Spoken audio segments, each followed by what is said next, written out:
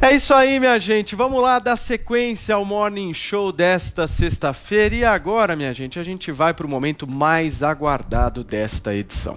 É hora de conversar com um dos grandes nomes do jornalismo brasileiro, o cara que deu vida ao bordão, que melhor sintetiza a indignação da sociedade brasileira diante de absurdos cometidos pelas autoridades deste país. Isso é uma vergonha. Boris Casoy, bem-vindo ao Morning Show. E que belo estúdio, hein, Boris? Você tá chique.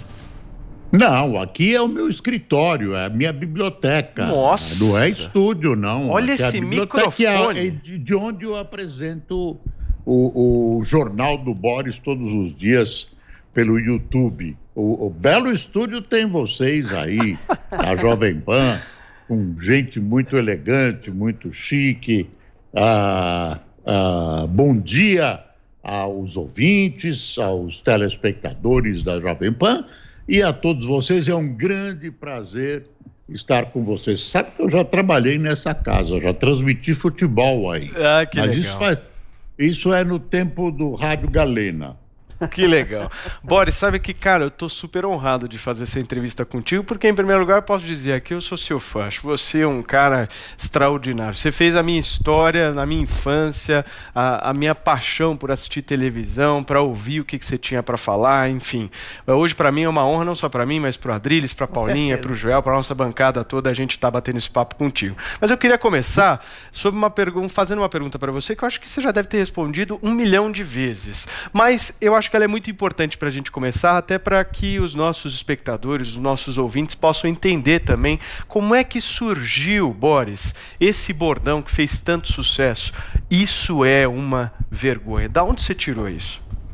É o seguinte, eu estava começando na televisão, no SBT, num telejornal que foi um sucesso, o Telejornal Brasil, num momento em que nós começamos a exercer a abertura dentro do regime militar. Uh, nós percebemos, se percebeu isso, enquanto a Globo permanecia fechada, com um noticiário controlado, nós abrimos. E nós estávamos transmitindo uma reportagem sobre um pronto-socorro no Recife não era costume mostrar essas mazelas. E nós fizemos uma longa reportagem mostrando aquilo que não mudou muito em muitos lugares, que é o pessoal no chão, faltava tudo, aquela coisa, hum, aquela miserabilidade de um pronto-socorro num Recife, aquela época já abandonado. E aí eu, eu vi aquilo, era uma reportagem longa, e comecei a ficar indignado. A indignação tem uma relação direta com isso, é uma vergonha. Comecei a ficar indignado e lembrei de uma televisão do meio oeste americano, que ficou famosa, uma pequena rede, porque quando Kennedy foi assassinado, e foi em 1966, ela parou de transmitir e colocou no ar um dístico enorme, shame, vergonha. Eu me lembrei daquilo quando a, quando a câmera abriu para mim, foi um close, né, um big close, eu repeti três vezes. Isso é uma vergonha. Foi um, um impulso. E falei aquilo e tal. Ninguém se manifestou dentro do estúdio. Quando eu saí do estúdio, tinha um diretor lá, uma figura da direção do SBT me esperando e me disse: Olha, o Boris, eh, sabe, em, te em televisão, em televisão, não se faz isso, porque você estava num close você invadiu a casa do telespectador e agrediu o telespectador. Falei, porra, estrepei o Silvio Santos. Acabei. Aí nós andamos, era uma distância relativamente longa até a redação. e os telefones da redação estavam explodindo. E as pessoas diziam: olha, era o grito que estava contido na minha garganta. Aí eu senti a preciosidade da frase que somava, que consubstanciava indignação. Por isso que eu disse que a palavra indignação tinha algo a ver. E tinha mesmo, e não é um, eu não uso moralmente. Não, não tem uma visão moral no Isso é uma Vergonha. Tem uma visão uh, absolutamente dessa angústia, dessa indignação que as pessoas sentem com uma injustiça, com uma incompetência uh, administrativa, governamental, e que fica um grito preso na garganta. Ainda quando eu falo pouco, ainda me cobra. Olha, isso é uma vergonha, isso é uma. Então ele persiste há mais de 30 anos e ainda está de pé. Eu acho que não vai acabar nunca, viu? Né, o, Boris. o Boris, antes de eu passar a palavra para os meus colegas aqui, eu queria que você, aproveitando até o bordão, me contasse uma coisa. Qual que é a vergonha mor hoje no Brasil? Boa. Não, é o seguinte, uh, eu não gosto de classificar nenhuma vergonha, porque nós temos muitas, porque eu, classificando uma, eu tenho medo de esquecer e ofender as outras. Não, então eu não quero incluir porque eu não quero excluir ninguém. Mas, mas São muitas, né, é Boris? São muitas. É, mas eu, eu, eu não gosto de fixar uma vergonha. Uh, eu tá acho certo. que o Brasil é melhor do que o que os brasileiros imaginam e as nossas perspectivas, sempre a um prazo mais longo, são melhores do que a gente imagina. Nós vivemos num país enorme, é, territorialmente, com um mar gigantesco, uma costa espetacular, com uma floresta fantástica, temos quase todos os climas temos terras cultiváveis, temos uma população que, que é um mercado, se ela tiver capacidade de compra, hum. e precisa dar uma desemperrada política nesse país. Perfeito. É um país que eu amo muito, que acolheu os meus pais, que saíram da Rússia, e que eu não vejo com esse pessimismo, não o, o, governante do momento e tal, isso é uma linha só na história. Tá e o, o, país tem uma, uma grande vocação para o desenvolvimento e para distribuir renda para todo mundo usufruir, porque não adianta você ter um país que é o quinto colocado, não sei o quê, no desenvolvimento industrial e gente passando fome. Tá Adrilho Jorge. Boris, muitíssimo bom dia. Eu faço das palavras do Paulo Matias a minha. Você é uma grande referência para eu ter optado, inclusive, é, pela faculdade de jornalismo, por esse mundo de jornalista. E é sobre jornalistas que eu queria te perguntar. Muita gente diz, Boris, que hoje em dia, em grande medida, o jornalismo, sobretudo o jornalismo das redações, objetivo, ele se transformou em militância e que essa ocupação esquerdista, progressista das redações cria exatamente essa falta de pluralidade na busca pela verdade. E aí eu te faço essa primeira pergunta, é isso mesmo? Nesses 62 anos de profissão, você viu essa tomada da esquerda progressista uh, nas redações, isso influi de alguma maneira na linha editorial? E emendando outra pergunta, isso influi na relação direta da luta da imprensa contra o Bolsonaro aqui no Brasil e também nos Estados Unidos, da, da, da, luta de uma imprensa militante contra o Donald Trump. Existe essa guerra e quem perde mais nessa guerra? Olha, a, a guerra não é tão total como se imagina. A, a, existem nas redações várias tendências. Eu acho que uma tendência de esquerda uh, não prevalece como já prevaleceu no passado. O ex-presidente Lula era um, tinha um apoio quase que total da classe jornalística. Eu me lembro que um dia ele comentou comigo que ele foi posar lá para um final de uma de um da campanha, alguma coisa nas escadarias do, do Teatro Municipal. O pessoal Uh, os fotógrafos baixaram as máquinas e os repórteres com os seus caderninhos na mão, suas canetas, e aí todo mundo cantou Lula lá. Quer dizer, e já houve militância maior. Uh, eu não vejo tanta influência, eu não vejo tanta influência. Agora, quando você uh, sobe alguns degraus na questão da cultura brasileira, e isso é um fenômeno mundial, está deixando de ser tão intenso, predomina uma visão à esquerda, que foi muito afetada pelo fim da União Soviética e pelo fracasso de todos os regimes socialistas. Então, essa visão está muito muito ferida e tem uma ascensão do que a gente chama de direita.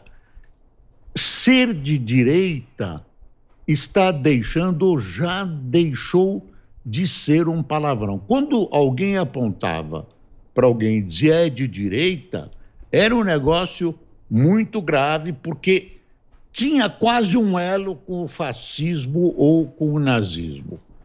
Uh, eu, eu não vejo, a não ser nos comentaristas, grande parte dos comentaristas, que a imprensa esteja especialmente dirigida contra o presidente Bolsonaro por razões ideológicas. Por razões. Pode até ver. Eu não vejo assim a grosso modo.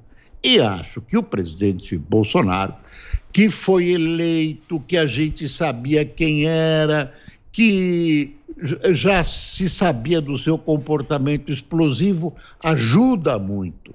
Ele ajuda muito, ele fala antes de pensar e acaba provocando essa reação. Além disso, no Brasil, nós temos dois veículos, um deles a Rede Globo, ah, jurados de morte. A Globo é jurada de morte pelo presidente Bolsonaro, o que você pode imaginar a reação uh, da Globo, que tem um, um, uma presença de oposição inteligente e altamente desgastante. E a Folha de São Paulo, que ele também partiu para a Folha de São Paulo, o jornal que eu, que eu do Mas, qual Boris, tem gente da Folha desejando a morte do presidente também, né? Também, é. também. Eu, eu, por exemplo, acho que você pode desejar a morte de alguém. Eu tenho uma lista. Eu tenho uma lista, mas eu não publico. Só não pode matar. Desejar a morte, tudo não. bem. Perfeito. É, mas tem maldições. Aí quando você amaldiçoa alguém para ele mesmo, a pessoa Perfeito. começa a, a, a, a balançar. Perfeito. Mas, mas é, é, tem gente que ameaçou. Uh, eu acho que foi um erro aquilo, uma figura. Foi o Hélio Schwartzman, Sim. que eu conheço, que é uma figura muito inteligente, e eu, eu acho que o, o Bolsonaro, com a sua.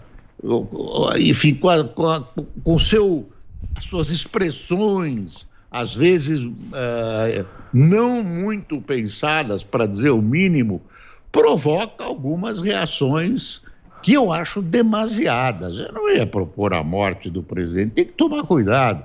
Bolsonaro merece respeito. Uh, e eu repito: ninguém, ninguém pode dizer que se iludiu ao votar nele, e ele foi votado pela maioria dos eleitores brasileiros, porque a gente já conhecia o Bolsonaro de corpo inteiro.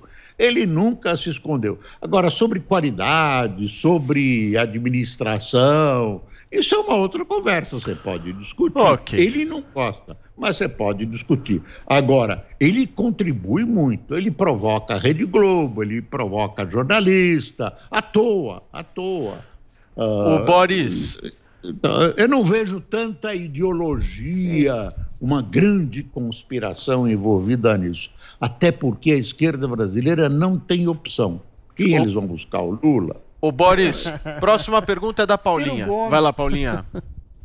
Boris, se a gente tiver a confirmação agora é, do Joe Biden nos Estados Unidos como novo presidente americano, derrotando o Trump, que seria uma direita ascendendo nesse país que é tão importante, você acha que isso traz um recado, por exemplo, para uma reeleição do Bolsonaro ou para outros líderes de direita? Você classificou o John Biden como uma direita ascendente, Paula? Não, não, o Trump, o Trump. Se a gente tiver a vitória do Biden, que seria aí ah, um democrata sim. considerado esquerda, digamos assim, né? Já, é. é que esses, esses princípios já são confusos, né, sim. Boris?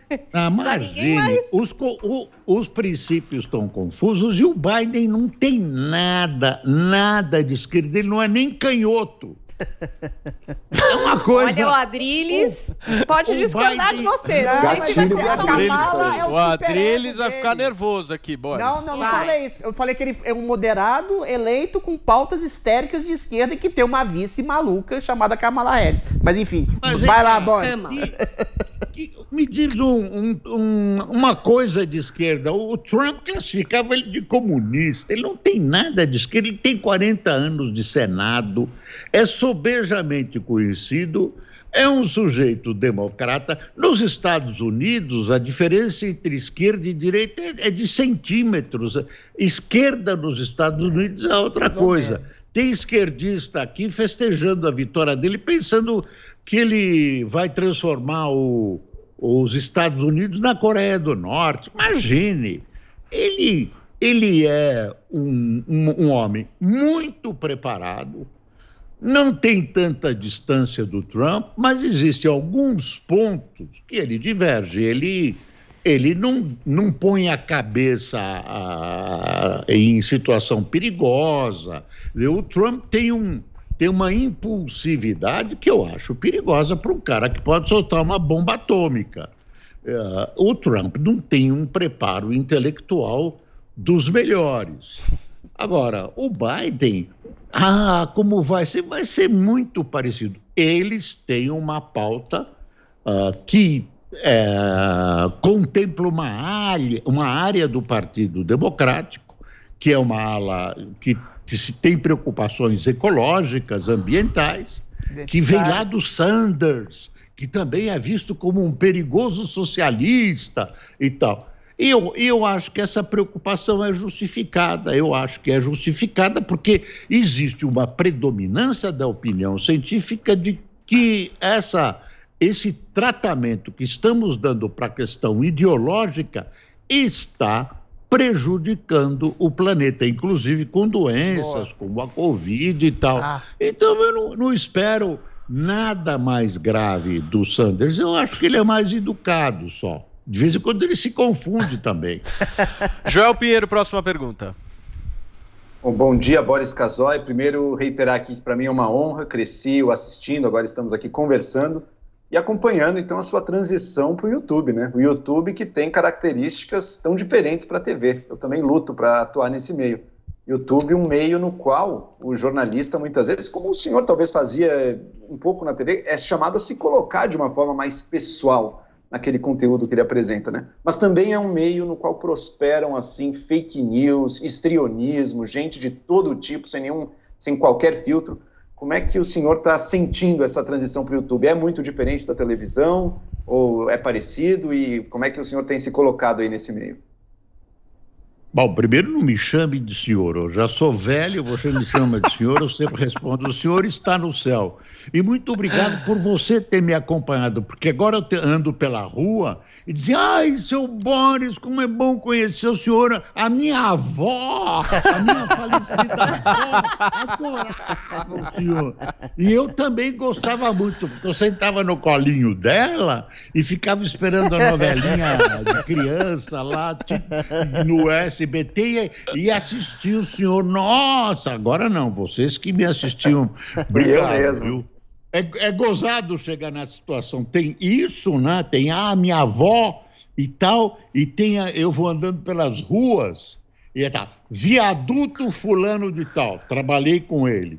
Viaduto Avenida fulano de tal, trabalhei com ele. Uh, viaduto rua tal, trabalhei com. Não é assim que se pronuncia. Como é que você sabe? Trabalhei com ele. É muito ruim isso, é muito, é muito gozado até, mas muito obrigado por vocês terem me assistido e ninguém ainda disse, minha querida vovozinha era sua fã. Uh, esqueci o que você me perguntou. Né? Como é que tem sido o YouTube agora? YouTube. Como é que tem sido a... eu, eu tô tateando o YouTube ainda, eu tô gostando. As pessoas acham que eu tô, tô feliz. Olha, por mais liberdade que você goze numa emissora de televisão, sempre tem um, um, um... e ultimamente foi mais difícil para mim. Uh, eu não queria contrariar a direção, não tive nenhum problema na Rede TV, nenhum problema. Mas eu não queria contrariar, eu sabia que tinha posições assim assado, então eu preferi o silêncio. E, e, e, e foi um momento uh, que eu me senti um pouco sufocado. A sensação era do sufoco. E sempre o autocontrole uh, era sufocante, mesmo tendo liberdade total, mesmo na rede TV, liberdade total. Mas sufocado pelo quê, Boris? Sufocado pelo seu autocontrole. Sim. Que na internet dizem que não tem. Realmente eu estou sentindo, eu estou mais. A... É mais o Boris. É mais o Boris com 17 anos que esse velho de 79. É, então, é velho, eu me estou me sentindo perigosamente à vontade. Livre. Estou me sentindo. Perigo, hein, é, Boris? Não, é perigo mesmo, porque eu posso falar uma. Que bom. Às vezes eu dava uma freada, agora eu estou perdendo os freios. Perfeito. E eu acho que a internet não é televisão, é um espaço mais livre, mas tem que ser exercida com responsabilidade. O Boris. Eu acho que. Sim. Eu queria ficar conversando com você mais uma hora aqui, se a gente pudesse, porque o papo tá tão legal. Eu só tenho que te agradecer pela entrevista, viu? Foi sensacional. Acabou. Acabou. Infelizmente passou voando. A conversa contigo é muito boa, muito boa mesmo. Eu só tenho mais uma vez te agradecer pela disponibilidade e para já te convidar para uma próxima. Volto sempre aqui no Morning Amanhã. e tomara que possa ser pessoalmente para a gente poder se encontrar, tirar uma foto, porque a gente é muito fã do seu trabalho. Muito obrigado. Eu sou um ouvinte de rádio. Eu sou um ouvinte de rádio. E, dentre, e eu vou mudando de estação. E dentre as rádios que eu gosto, uma que eu adoro é a Jovem Pan. É, eu não vejo a Jovem Pan, tenho preguiça de ficar procurando de manhã. Eu ouço a Jovem Pan. Eu sei cantar até o hino que a Jovem Pan, quando era emissora dos esportes, cantava. Ah, porque era. Ah, eu não vou cantar. Ah, oh, Boris, não Palinha, palinha, palinha em 10 segundos, Boris. As duas portuguesas, salve olé. Iraná vive o tricolor do Canindé, já acorda, fazendo a sua ginástica. Uh, pam, pam, pam, pam, maravilhoso, maravilhoso. Boris. Pan-Americana. Boris, obrigado, Boris. Maravilhoso. Eu queria muito poder ficar mais. E tive a chance de trabalhar com o glorioso doutor Paulo Machado de Carvalho, foi Sim. meu companheiro de secretariado na prefeitura. Então, e trabalhei, passei, resvalei pela Jovem Pan, que Sim. é uma coisa que eu me orgulho, naquele livrão do, da Jovem Pan, estou eu lá, o meu nome, e eu, eu agradeço muito o convite, me sinto muito honrado. A honra foi nossa. Quero, quero cumprimentar vocês pelo rádio Obrigado, excelente Boris. que vocês fazem. Boris Casoy aqui no Morning Show. Turma, tchau geral para vocês. Boris, muito obrigado mais uma vez. A gente se vê segunda-feira. Adriles e Joel Domingão tem cobertura especial das eleições na Estaremos lá. Boris, abração, querido. Somos seus tchau. fãs. Abraço. Tchau, querido.